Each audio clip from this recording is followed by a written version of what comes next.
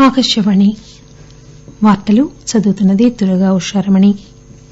భారత్ నేపాల్ దేశాల భాగస్వామ్యంలో సాధిస్తున్న ప్రగతిపైన ఉభయ దేశాల సహకార సంబంధాల బలోపేతంపైన నేపాల్ ప్రధానమంత్రి షేర్ బహాదూర్ ద్యోబాతో ప్రధానమంత్రి నరేంద్ర మోదీ ఈరోజు న్యూఢిల్లీలో చర్చించారు. మధ్య ఆసియా దేశాలతో కనెక్టివిటీ అనేది భారతదేశానికి కీలక ప్రాధాన్యతగా కొనసాగుతోందని రాష్టపతి రామ్నాథ్ కోవింద్ అన్నారు. పాకిస్తాన్ ప్రధానమంత్రి ఇమ్రాన్ ఖాన్ అభ్యర్థన మేరకు ఆ దేశ అధ్యకుడు ఆరిఫ్ ఆల్వీ జాతీయ అసెంబ్లీని రద్దు చేశారు. ప్రధానమంత్రిపై అవిశ్వాస తీర్మానానికి స్పీకర్ అనుమతి తిరస్కరించిన తర్వాత ఇమ్రాన్ ఖాన్ తాజా ఎన్ని కలకు కూడా అధ్యకుడికి సిఫార్సు చేశారు. ఐసీసీ మహిళల క్రికెట్ ప్రపంచ కప్ను ఆస్టేలియా గెలుచుకుంది. క్రైస్ట్ చర్చ్లో జరిగిన ఫైనల్ మ్యాచ్లో ఇంగ్లండ్ను డెబ్బై ఒక్క పరుగుల తేడాతో ఓడించింది. ఐపీఎల్ క్రికెట్లో ఇంకొద్దిసేపట్లో ముంబైలో ప్రారంభమయ్యే మ్యాచ్లో చెన్నై సూపర్ కింగ్స్ జట్టు పంజాబ్ కింగ్స్తో తలపడుతుంది. నేపాల్ ప్రధానమంత్రి షేర్ బహాదూర్ దియోబాతో మన ప్రధానమంత్రి నరేంద్ర మోదీ ఈరోజు న్యూఢిల్లీలో సమాపేశమయ్యారు భారత్ నేపాల్ దేశాల భాగస్వామ్యంలో సాధిస్తున్న ప్రగతిపై ఉభయ దేశాల సహకార సంబంధాల బలోపేతంపై వారిద్దరూ చర్చించారు. అనంతరం ఇద్దరూ కలిసి అనేక ప్రాజెక్టులు ప్రారంభించారు. బీహార్ జయనగర్ నేపాల్ కర్తాల మధ్య ముప్పై ఐదు కిలోమీటర్ల దూరం ప్రయాణించే సీమాంతర ప్యాసింజర్ రైలును జెండా ఊపి ప్రారంభించారు.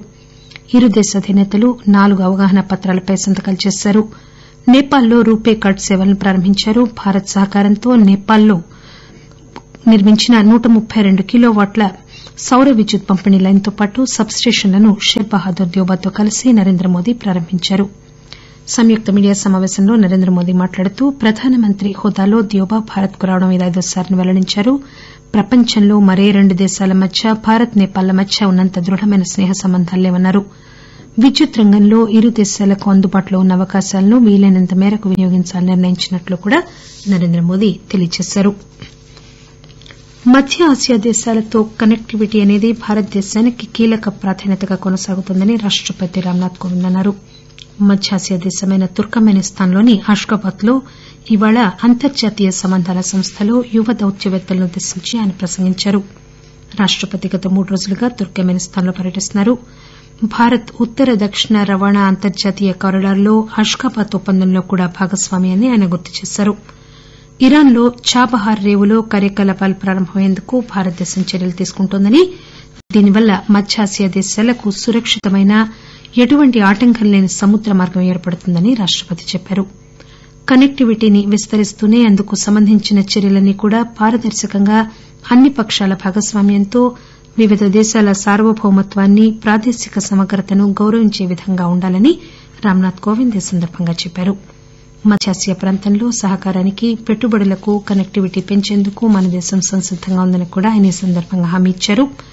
ప్రపంచంలో అతిపెద్ద ఆర్థిక వ్యవస్థల్లో ఒకటిగా భారతదేశం ఆవిర్భవించడం భారత్ సాంకేతిక సామర్థ్యాల కారణంగా భౌగోళికంగా కీలకమైన చర్యలన్నిటికీ ఒక ప్రత్యేకమైన దిశ రూపం వచ్చాయని రాష్టపతి పేర్కొన్నారు.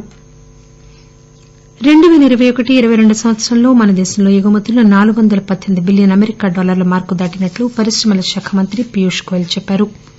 ఆత్మ నిర్బర్ భారత్ సాధించేందుకు ఈ మైలురాయి ఎంతో కీలకమని మంత్రి అన్నారు. కేవలం మార్చి నెలలోనే నలబై బిలియన్ డాలర్లకు పైగా ఎగుమతులు జరిగాయని పెల్లడించారు రెండు పేల పంతొమ్మిది ఇరవైలో రెండు లక్షల టన్నుల గోధుమలు ఎగుమతి చేయగా రెండు పేల ఇరవై ఇరవై ఒకటిలో ఇరవై ఒకటి పాయింట్ ఐదు ఐదు లక్షల టన్నులకు ఎగుమతి పెరిగిందని మంత్రి చెప్పారు. ఆజాదీ కా అమృత్ మహోత్సవ్లో భాగంగా టెంపుల్ త్రీ సిక్స్టీ వెబ్సైట్ను కేంద్ర సాంస్కృతిక శాఖ సహాయ మంత్రి న్యూఢిల్లీలో ప్రారంభించారు. ఈ వెబ్సైట్ ద్వారా ప్రపంచంలోని ఏ మూల నుంచైనా పన్నెండు జ్యోతిర్లింగ క్షేత్రాలు చార్ధామ్ను మూడు వందల అరవై డిగ్రీల కోణంలో దర్శించుకోవచ్చు. దృశ్య మాధ్యమంగా జరిగే ఈ దర్శనం ఈ హారతి తదితర కార్యక్రమాల్లో భక్తులు పాల్గొనవచ్చు. ఇండియా జెమ్స్ జ్యువెలరీ ప్రదర్శనను రైల్వేలు బొగ్గు గనుల శాఖ సహాయ మంత్రి రావ్ సాహెబ్ పాటిల్ దాన్వే ఈరోజు ముంబైలో ప్రారంభించారు. అఖిల భారత జెమ్స్ జ్యువెలరీ దేశీయ సమితి అనే పారిశ్రామిక మండలి ఈ ప్రదర్శనను ఏర్పాటు చేసింది. అంతర్జాతీయంగా బంగారానికి ఉన్న విలువను దేశీయంగా ఉత్పత్తి చేసే బంగారానికి కూడా లభించే విధంగా పౌరుల్లో విశ్వాసం పెంచవలసిన అవసరం ఉందని ఆయన ఆభరణాల పరిశ్రమకు పిలుపునిచ్చారు.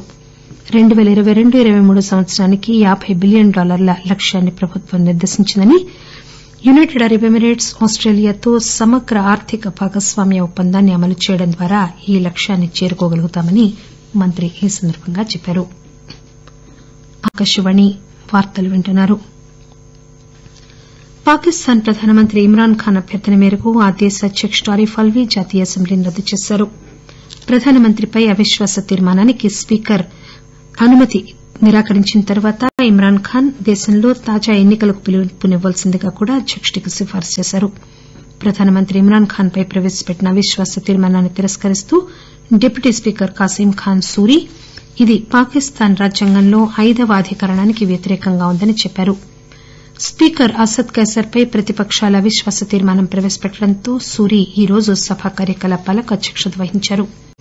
ఐదవ అధికరణం కింద దేశం పట్ల ప్రభుత్వం పట్ల విశ్వాసం కలిగి ఉండడం ప్రతి పౌరుడి మౌలిక బాధ్యతని పాకిస్తాన్ సమాచార శాఖ మంత్రి ఫవాద్ చౌదరి ఈ సందర్బంగా చెప్పారు. విదేశీ ప్రభుత్వం ఏదో పాకిస్తాన్లో హయాం మార్చేందుకు కుట్ర పన్నిందని పాకిస్తాన్ అధికారులకు సమాచారం అందినట్లు ఆయన పార్లమెంట్ సభ్యులకు తెలియజేశారు. ఇది రాజ్యాంగ వ్యతిరేకమని ఆయన ప్రకటించారు. ఆ తర్వాత దేశ ప్రజలనుద్దేశించి ప్రసంగిస్తూ ఇమ్రాన్ ఖాన్ దేశం ఎన్ని కలకు సంసిద్దం కావాలని పిలుపునిచ్చారు. మరోపక్క ప్రధానమంత్రిపై అవిశ్వాస తీర్మానాన్ని అనుమతించరాదన్న నిర్ణయం చట్టబద్దమా కాదా నిర్ణయించాలని కోరుతూ ప్రతిపక్షం దేశ సుప్రీంకోర్టులో పిటిషన్ దాఖలు చేసింది. జాతీయ అసెంబ్లీ రద్దుపై పరిశీలన జరిపేందుకు సుప్రీంకోర్టు ఒక ప్రత్యేక ధర్మాసనాన్ని ఏర్పాటు చేసింది. రాజకీయంగా అల్లకల్లోల పరిస్థితి నెలకొన్న నేపథ్యంలో రాజధాని ఇస్లామాబాద్లో ప్రభుత్వ భవనాల చుట్టుపక్కల కట్టుదిట్టమైన భద్రత ఏర్పాటు చేశారు. గత ఐదేళ్ళలో దేశంలో వివిధ యువజన క్రీడల అభివృద్ది పథకాలకు పన్నెండు పేల ఎనిమిది వందల ఎనబై ఎనిమిది కోట్ల రూపాయలు కేటాయించారు. సమాచార ప్రసార మంత్రిత్వ శాఖ ట్విట్టర్లో ఈ విషయం తెలియజేస్తూ మన దేశాన్ని క్రీడా దేశంగా అభివృద్ది పరిచేందుకు కేంద్ర ప్రభుత్వం కట్టుబడి ఉందన్న విషయాన్ని ఇది రుజువు చేస్తోందన్నారు. ఇంతవరకు వివిధ పథకాల కింద పదకొండు పేల నాలుగు వందల ఎనబై రెండు కోట్ల రూపాయలు ఖర్చు చేశారు ఖేలో ఇండియా పథకం కింద రెండు వందల ఎనబై తొమ్మిది క్రీడల మౌలిక సదుపాయాల ప్రాజెక్టులను కూడా మంజూరు చేశారు. ప్రపంచం చూపు భారత్ భారతీయుల ఆవిష్కరణలపైనే ఉందని సమాచార ప్రసార శాఖల మంత్రి అనురాగ్ ఠాకూర్ అన్నారు. ఆజాదీ కా అమృత్ మహోత్సవ్లో భాగంగా చండీగఢ్ విశ్వవిద్యాలయం నిర్వహించిన ఎనిమిదవ కార్పొరేట్ సలహా బోర్డు సమాపేశంలో ఆయన మాట్లాడారు. సుస్దిర మార్పుకు అభివృద్దికి సీఏబీ పరిశోధన ఆవిష్కరణలు చోదక శక్తిగా ఉంటాయని విశ్వసిస్తున్నట్లు అనురాగ్ ఠాకూర్ చెప్పారు. ఐసీసీ మహిళల క్రికెట్ ప్రపంచ కప్ను ఆస్టేలియా గెలుచుకుంది. క్రైస్ట్ చర్చ్లో జరిగిన ఫైనల్ మ్యాచ్లో ఆస్టేలియా ఇంగ్లండ్ను డెబ్బై ఒక్క పరుగుల తేడాతో ఓడించింది. మూడు వందల యాబై ఏడు పరుగుల భారీ లక్ష్యాన్ని ఛేదించే ప్రయత్నంలో ఇంగ్లండ్ మహిళల జట్టు నలబై మూడు పాయింట్ నాలుగు ఓవర్లలో రెండు వందల ఎనబై ఐదు పరుగులకి ఆలౌట్ అయింది ముందు బ్యాటింగ్ చేసిన ఆస్టేలియా మూడు వందల యాబై ఆరు పరుగులు చేసింది. ఆస్టేలియా మహిళల జట్టు ప్రపంచ క్రికెట్ కప్ గెలుచుకోవడం ఇది రికార్డు స్థాయిలో ఏడోసారి. ఇంగ్లండ్ జట్టులో నటాలీ స్కైవర్ నూట నలబై రెండు పరుగులు చేసి అజేయంగా నిలిచినప్పటికీ ఇంగ్లండ్ జట్టుకు దానివల్ల ప్రయోజనం కలగలేదు. ఐపీఎల్ క్రికెట్లో ఇంకొద్దిసేపట్లో ముంబైలో ప్రారంభమయ్యే మ్యాచ్లో చెన్నై సూపర్ కింగ్స్ జట్టు పంజాబ్ కింగ్స్ జట్టుతో తలపడుతుంది. బ్రబోన్ స్టేడియంలో ఈ మ్యాచ్ సాయంత్రం ఏడు గంటల ముప్పై నిమిషాలకు ప్రారంభమవుతుంది.